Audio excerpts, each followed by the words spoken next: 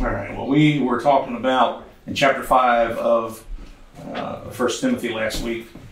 We just got the, fir- the first couple of verses read and talked about how uh, Paul was instructing Timothy on essentially to, to take care of everyone. And and since Timothy's a younger man, he was telling him essentially how to relate to everyone. The older older men and the older women relate to them as mothers and fathers. Younger men and women think of them as as as sisters and, and brothers. And, uh, and, and and so really and truly, everyone in the church is a member of your family, and you're all there together. And and don't neglect anyone. Uh, seems to be part of the message there. But then after that, the Apostle Paul goes into a very lengthy discussion on widows. And, and, and it, it just interests me, and I think about it. Why in the world does he feel as though it is so necessary to spend so much time when it seems like such a clear command that the church and that Christians are supposed to take care of the less fortunate? And we know that in that society, for sure, that widows were, were really the bottom of the barrel when it came to to uh, where they you know, placed in, in the structure. And yet, Paul seems to put an awful lot of um, caveats here and, and, and concern about how the church approaches that need or approaches taking care of them.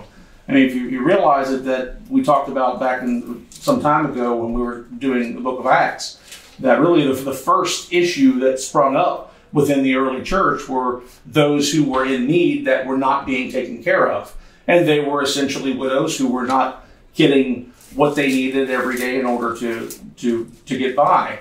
And so that's where we think that it seems like the first deacons came about was to help distribute what was needed where it needed to go.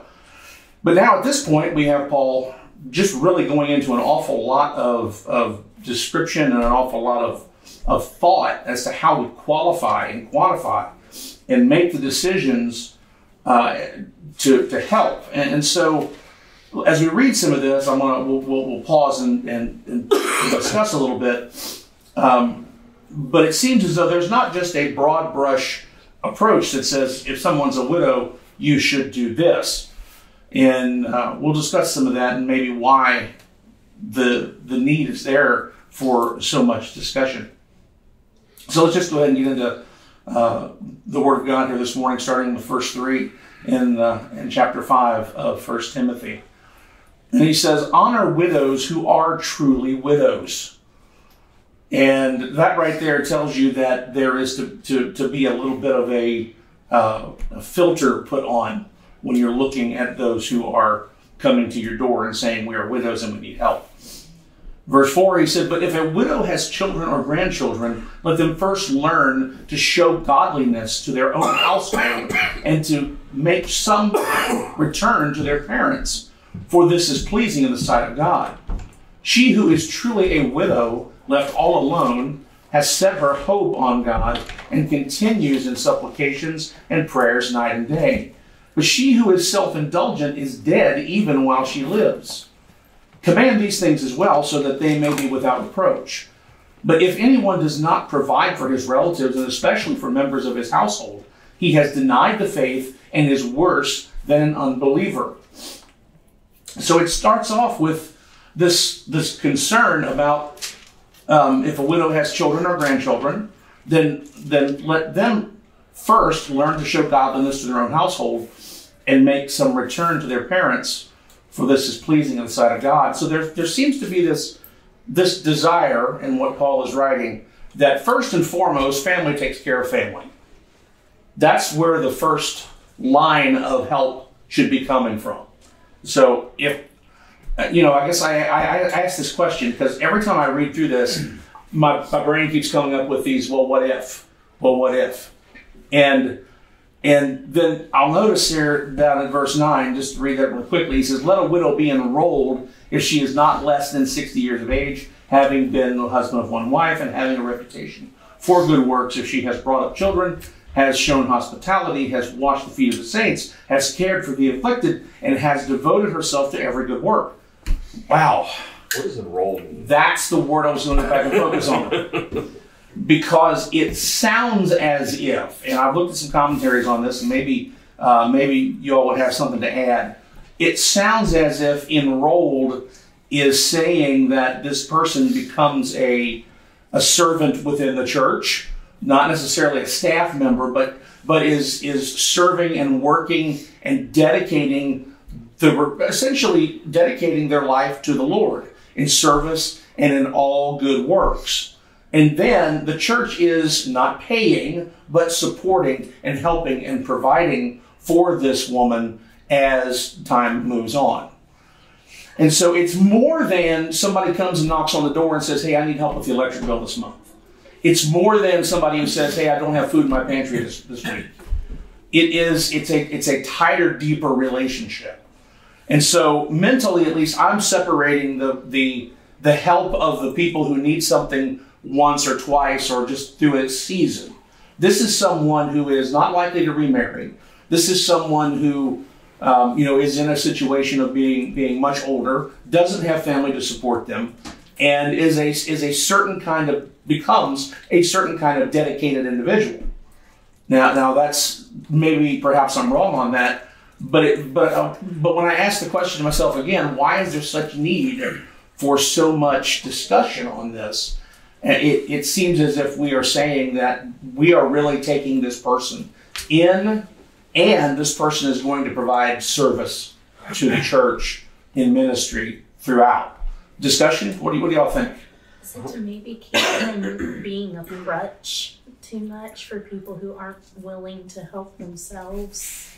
I think that's a big like part of it. The guidelines to you know not keep supporting someone who's not willing to also serve themselves and you know that kind of thing. Yeah. So, Because if you if you're in a situation where you don't have family, you can't get a job, you know, you're you're, you're the least of the least of the lowest, then then what work are you going to do? How would you how, how could you do anything? beg. I Beg. mean, it's really That's right. Was their option? Yeah. Yeah, you wind up you wind up on the streets, you wind up begging, you wind up asking. But if you're willing to be in service, then the church can become your source of what you need.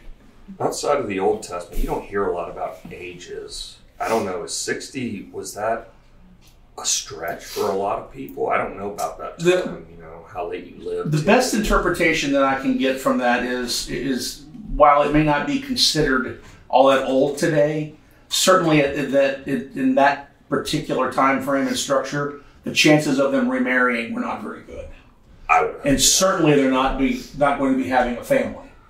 And so, if they find themselves in that situation at that early at that, at that, at that age, then it's highly unlikely that they're going to have anybody take care of them moving forward. But again, if you look at what was that's Sarah or uh, like looking at Noah's age, she's a spring chicken. Right? Yeah. But Yeah. Methuselah, nine hundred. yeah, Yeah. she's just coming in her prime. Yeah, you got the, my goodness, 30 more years, you can still have a kid. yeah. Yeah, so I think at this time, I, I think at this time they were very similar to our our Lifespans and- mm-hmm. lifespans. Yeah, it just kind of diminished after the flood. we did. It just continually went down. And I used to think that I used to think that if you lived 200 years ago, uh, because if you ever looked at the lifespan uh, average, it was like 40 some years older. I used to think like those people ran themselves into the ground pretty quick. Mm-hmm. But I found out that that's only because the infant mortality uh, was so high Ah. that that actually skewed the numbers. Like so, it was if you if you live past childhood, you know. Oh, that makes sense. Yeah. The, the chances of you living to the same ages that we lived, our lifespan would be very similar. But it was the fact that infant mortality was just so high. That's the that's the average That averages makes sense. statistics, man. Yeah, they mess you up. They, they really Yeah. can. I had, I never thought of that before. Huh. But yeah, if you have if you have a high number of of uh, you know, infant mortalities, and when you walk through the graveyards, uh, you see that from that time period, Yeah. then you can certainly see how that would uh, how that would, would bend things in the wrong direction, moves the curve. That's how a lot of infant baptism got started because the, there was so Yeah. much death loss with infants that the just out of desperation and panic, Yeah. mostly. But I mean, there were other reasons too, but that was a big one. I think this enroll. I think this is just a prioritization of need uh, within the church. You know, like uh, you think about Lois Skidmore, she's a widow, right? Yeah. But she has John.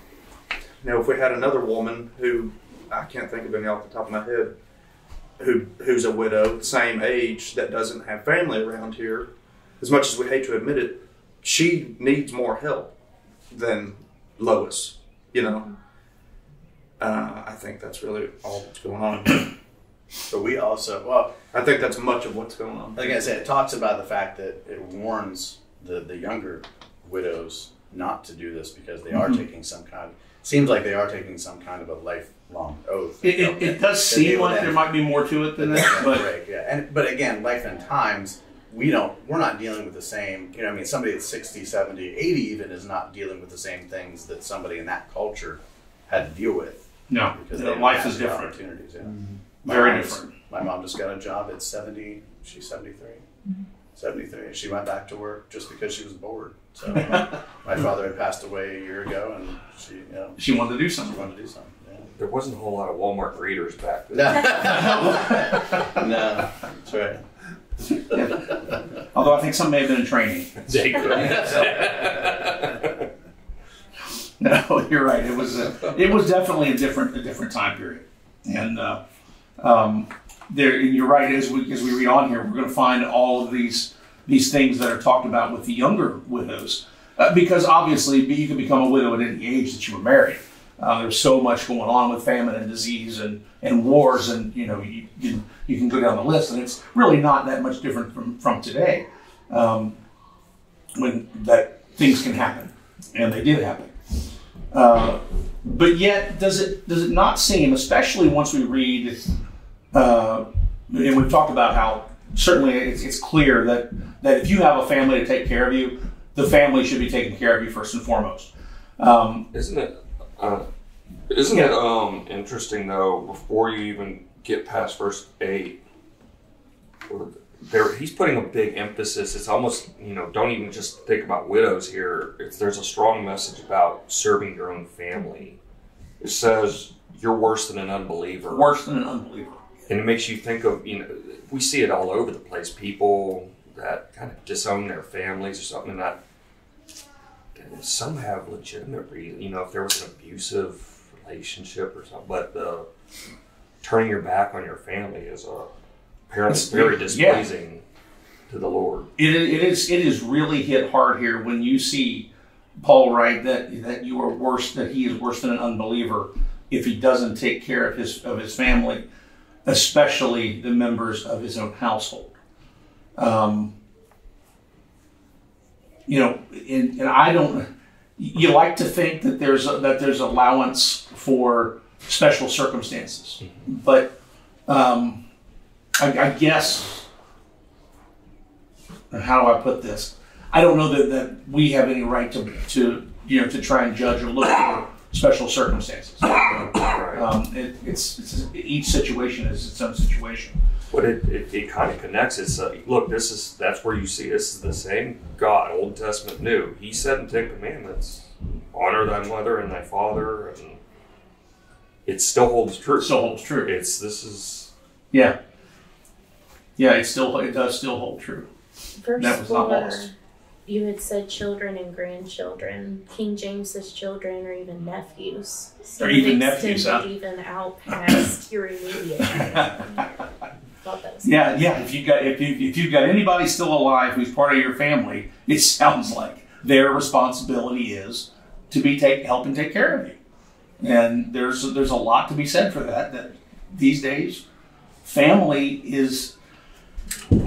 We are right in the church to be putting as much emphasis as we can on the family structure, and and not not because of the, you know any secular reasoning but when you when you go back to the old testament and take a look in deuteronomy and and see the importance that was put upon teaching god's word within the family structure if you don't have the family structure i mean that's you hear a lot of talk oftentimes about how we need to figure out how do we reach people. We need to figure out what's the right way to to to get the, the word of God to be spread from person to person, from generation to generation.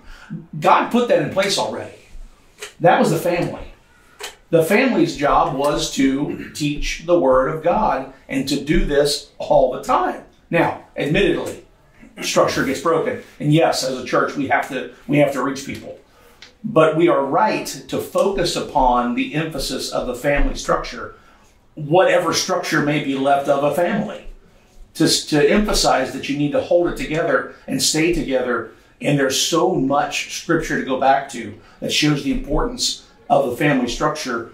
And then to emphasize that it's your job, not the church's job, but it's your job as parents to, to, to make sure that your children know the Word of God and understand the Scriptures. And part of that is bringing them to church, but not offloading that responsibility onto the church, which is a, which is a big problem these days. I have talked to parents who have absolutely no idea about anything within Scripture, and they are so lost as to what to do and how to do it. But their their their solution is, I bring my child to church.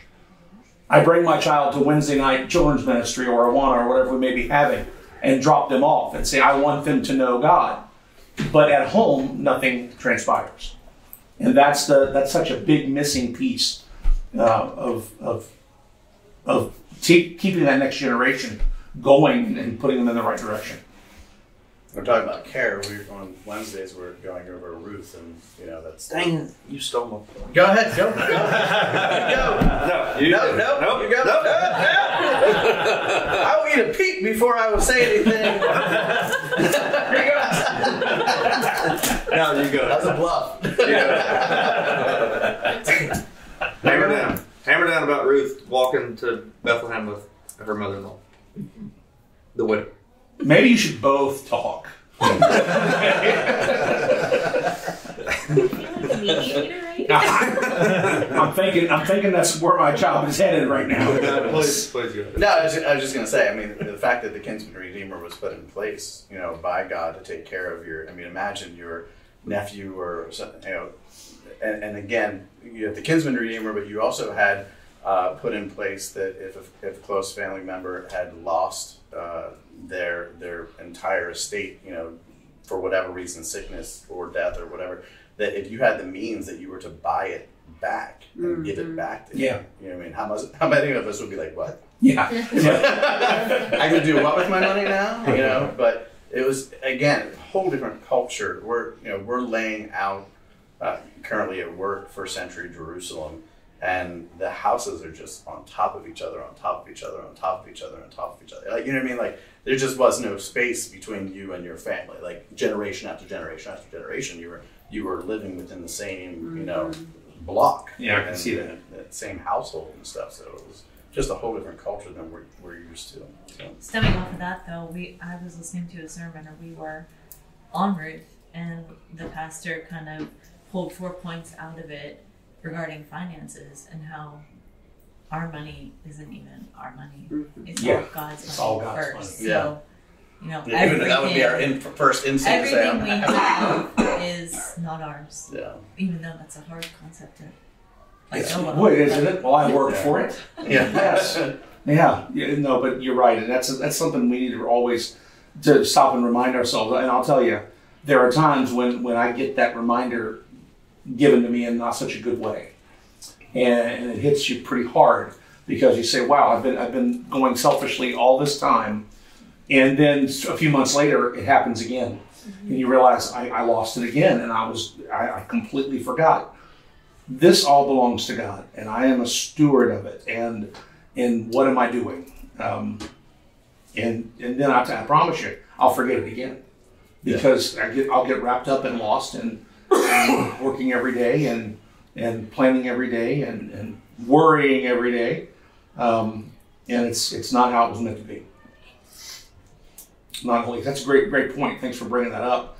That that that we we I look what you said that you know it's what what do you mean take my take my resources and buy it back and, and give it are you kidding me but then again you know this is God's money this is God's money Now, what, what, what were you going to say? Uh, well, I was just going to touch on. Because I don't think you guys had the same point. No, I was just going to say that Ruth, you know, Naomi was a widow.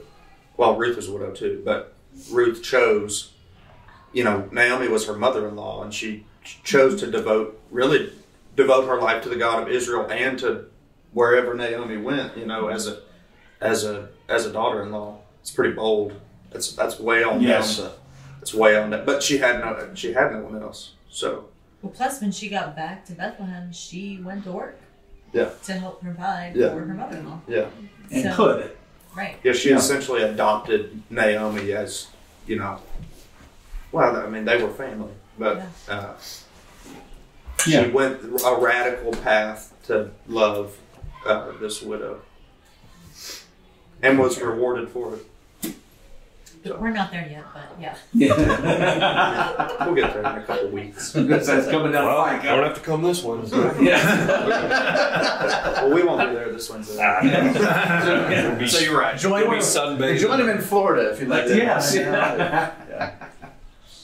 That's great. We'll meet on Zoom. We all show. no, we're all showing up on the beach, and you're gonna be like, oh, Hey, I, led, I led Bible studies over Zoom. so Oh, that's terrible. I didn't enjoy it, but, but we did it. I led, I led a couple Wednesday nights over Zoom. We're, we're here. It was, uh, Oh, that's yeah. Boy, those days are gone, thankfully. Um, so, but I want to go back to something that Crystal said about um, uh, if I if I heard you right about enabling, or or uh, there are two. I think there are two points to, to be considered. One is that these guidelines are, are put in place to prevent enabling those who have their own means, whether it's to provide for themselves or have families. Um, but they're also they also seem to be put in put in place um, to try to keep the church from basically being drained dry. I mean, if and, and this is why and, and take not not to argue, but this is why I'll go back to the word enrolled. The reason why I, I, feel like there may be a little more to it is that if you're going to take on supporting someone at some level, is if they're ministering and helping within the church, then the church is getting is getting something back. Not not that you know it has to be a give and take situation, but it, it almost feels like the way he's describing this, and I think it's it's certainly open for a lot of discussion. But it feels like the way he's describing this is that that if we're going to take on taking care of you, then there are needs within the church that you can serve and, and fulfill and be a part of.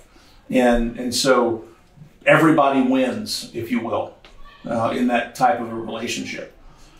But it, but it, but it, I think this is all uh, a, a whole bunch of precautionary things that one we don't want to enable, and two, if the church takes all of its resources to try and take care of every widow out there, there has to be some criteria to decide whether or not this person should be someone that we take care of. And that's what I meant by the prioritization. Gotcha. Struggling with that Well, and there again, on the work side of it, they are, in, in a sense, they are working for it. Mhm. You know, and, and again, back to the Ruth study, you notice they didn't just give handouts to the poor; they allowed them opportunities to work, to gather and glean in the fields. So it wasn't it wasn't ever you know just a strict handout. And that's the other thing too. When you look at this with it, as far as spiritually, the church, if if it takes on all of, of the needs of where the family should be doing the work, that's spiritually robbing you know them of a chance to, Absolutely it to is. grow and use their gifts. Yes. Yeah, I was just kind of about on that same path, and this could be a stretch. I think there's a lot of there's an unspoken uh, undertone in Paul's message here of our God that He knows our propensity to suffer loss and self-loathe, and and want to call it quits. And I think God cannot continue to work through you if you call call it quits. He has other things in mind that you can't fathom yet, because He sees you two, three decades down the road and what can be spun about through, and, and it's kind of and again to keep harping on Ruth, you know. So Ruth didn't give up in self-loathe, and from that comes David's lineage continued, which serves to the Messiah. You know, but there's we we want to self load, and I guess he's saying, you know, uh, if you're 60 or above, and you're kind of at the end of where you can serve in that capacity, then okay, but don't give up. You know, there's going to be trying times. There's going to be hard things, and we all want to just, woe is me, and, Yeah, that's that's interesting because you're you're correct. That's uh, we all find ourselves in that situation, and you know those even those who are strongest in the faith sometimes get to a, a point of self-loathing and and, and will will want to just kind of wallow around in self-pity, and uh, and it's an easy thing to do. But I was looking back here at, at, verse nine again, at all of these things. Um, let a widow be enrolled if she is not less than sixty years old uh, having been the, the wife of one husband. So, so there's some there's some, some qualifications put here on on how how did she live her life in marriage? Um, did she have a reputation for good works? Did she did, she bring up children? Has she shown hospitality? Um, and this this verse here, this, these words here, has washed the feet of the saints.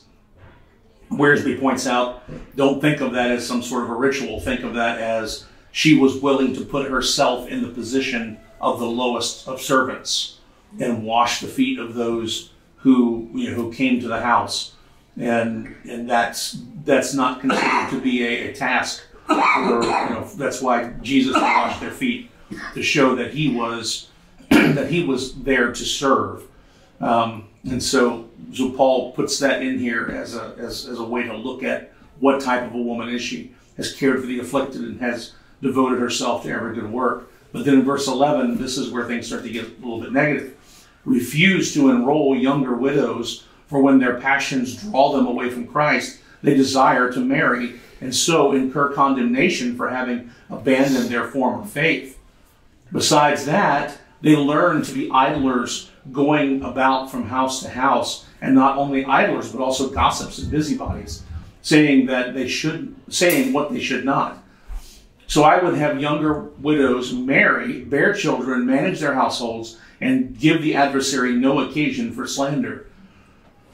So there's this whole look at if you're young enough to to go ahead and do what you're called to do to serve and and manage a household and get married and have children and get that family in place then the apostle paul is saying that's that's what we would have you do as opposed to as a younger person moving into this being enrolled within the church because there's all kinds of room for issue there. And and that's that's not a politically correct thing to say. It, it even feels it feels off base from what we talk about these days because we're essentially saying and i mean it's the truth right? That that not just women but but certainly everyone of a certain age attractions exist things happen and it happens at all ages but more so with a certain age group. And paul was just warning about if you if you allow young women to come in eh, you just just because. If your only criteria is oh you lost your husband if that's all we're going to do to look at to decide whether or not we should put you here then we may be opening the church up to a lot of problems and putting that person in a situation where they just shouldn't be. And and so his warning to timothy is let, let's pay attention to where the young widows are and and not open these doors for the problems that may come about. The main criteria seems to be spiritual maturity. it really does seem to be doesn't it? Because even if you're if you're older, that does not necessarily give you an instant ticket into that. You tho- those qualifications, just like the deacons and the elders had qualifications for serving within the church, that they have they fall under you know similar guidelines. Yeah, and, and, and I'll, I'll, I'll agree with you to that to the point that that the 60 years old comes into play. Right. Yeah, and and so then once you once you look at the, the at their age, okay, well they're they're past the point where these things can happen for them. Then how are they spiritually mature? What kind of life have they lived? And how can they serve? And there's there's a lot to and again, I don't think that this is saying we that we we can't help those who have instances or seasons of need. This is more taking them on, Yeah. you know? Right.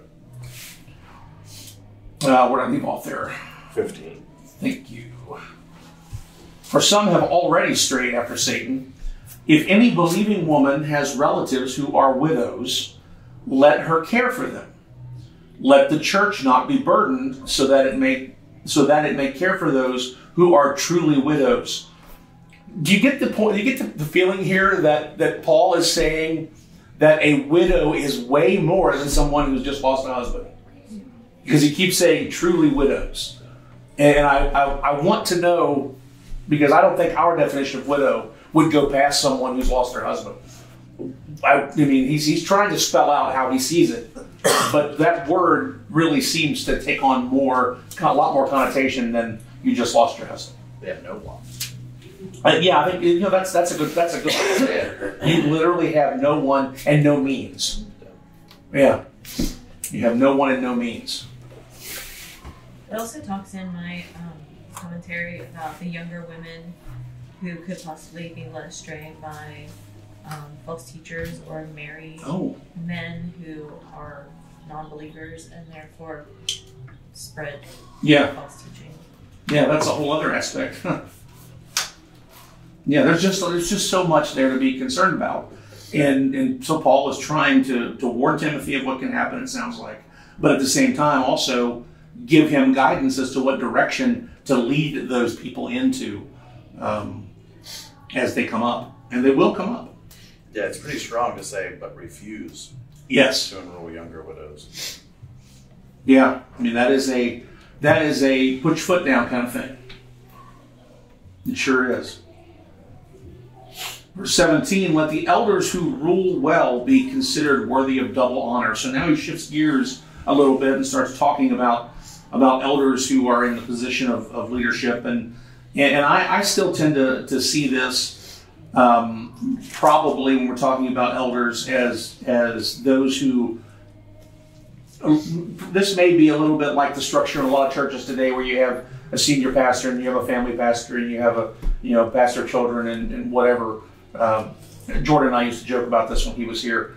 He used to say yeah you know they even have a pastor of pickles. So they have pastors for everything these days. And and they kind of do but it also sounds biblical to me that you had people who were in certain roles that that did see after certain areas within the church um, and, but in this case, they're saying that essentially you need to take care of those who are in leadership within the church. Um, they're considered worthy of double honor, especially those who labor in preaching and teaching. For the scripture, scripture says, "You shall not muzzle an ox when it treads out the grain," and the, the laborers deserve his wages. So, quoting quoting Christ, but there there's definitely a, a biblical um, foundation here that Paul brings up, not just here, but in other places within his writings, that it is the church's responsibility to take care of those who are serving in leadership roles, in pastor roles, um, not just staff members who who may be you know pro- providing necessary services to the church, but for especially those who labor in preaching and teaching. That um, you know, as I was brought up um, in, in my house, it was a, a constant thing that for whatever reason, a discussion would come up about working on Sunday. And, and, and, and I'm not going to open that door for that discussion right now, but, but then somebody would always come back and say, well, the preacher's working on Sunday and he's getting paid. So what does that mean? And there was, there would, we would, I remember these discussions in the house and this, and there are people I've talked to who believe, for whatever reason, that well, you're not supposed to, to work on Sunday, so why is a preacher getting paid? And shouldn't he have another job to support himself? Why should the service of the Lord result in you being paid? Well, because essentially that's the job you have taken on, and the scripture says that those people who are serving in those roles, who have been called to be there, you, the church needs to support them because they're supporting the church. it's a reciprocal relationship, and there's nothing wrong with it. It's just like the Levites. You know, they were taken care of by the people. They didn't have their own land. Their their job was to serve God. Yeah. And therefore, the people uh, essentially took care of them. And so you, you see that here, and the structure the structure makes sense, and, and I don't think there's any argument uh, that can be made against taking care of those who take care of uh, the church. So, but then we start to get into um, church discipline to some extent here with regard to, to elders. In verse 19, he says, Do not admit a charge against an elder except on the evidence of two or three witnesses. As for those who persist in sin, rebuke them in the presence of all, for or so that the rest may stand in fear. Um, that's that's not really any different than what we've read before with regard to, to how the church is to, to deal with things, but the certainly the wording here with how you know we're going to publicly address this and deal with this um, so that the rest may stand in fear. Uh, you know there, there's nothing there there's nothing wrong with letting people know about punishment that occurs for a specific violation so that others may look at it and say i better not do that either there's nothing wrong with it in, in, in culture, there's nothing wrong with it in the church. And, and these words here are, I mean, we've had we've had multiple discussions in here with regard to, to church discipline and, and the approach to things. And I think you you've preached on it and, and talked about it. And it still feels like something that is just so out of sync with where we are today and with how we approach things and do things with our with our tolerant attitudes when it comes to everything but it's not it's not scriptural Yeah, this all this is really just expectations. I mean, from a church leader, Paul, to a church leader, Timothy. It's just a list of expectations. Like, hey, let's not get distracted helping people that are going to go end up doing whatever they want to do anyway. We give up, we give all our, we dedicate time and money and effort and energy to this widow that's going to go marry a non-believer. We're just, we're, we're spinning our wheels. Same with, same with these elders. You know, uh, be considered worthy of double honor until he's in unrepentant sin, and then call him out. For Call him it. out You know, it, this is yeah. just a list of expectations. Like we're going to care for this widow who has lived a faithful, godly life, who has no one else. She is one who is truly a widow. She's lived a life of faith. She needs our help. She has nobody else. She's enrolled at this point. Or what, what, what. This is, it's also it's very much in the context of the church itself, right? Yeah, I mean, it's yeah. it's, it's not because Jesus was. I don't care if you're a, if you're talking about sinners. You're to go out and be with the sinners and message to the sinners, and you you know if you deny a sinner, you've denied me. You you know. But this is for the church, right? I mean, I'm, i mean this is all for the benefit of This the is church. for, you know, yeah, as specifically an institution, leadership. Yeah. right? Right. Yeah. Just like this this point talking about the, the elders would be the you know those who are teaching. That was a position that was that was very much honored and desired, and so it was very much a warning to those who would seek after a position like that who would not be qualified to not do so, and that they would suffer the same type of, of rebuke and, and you know chastisement. Yes.